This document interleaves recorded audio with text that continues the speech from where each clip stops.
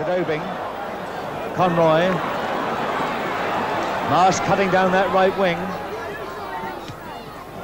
Good one-two, and a good shot, and what a goal! What a goal!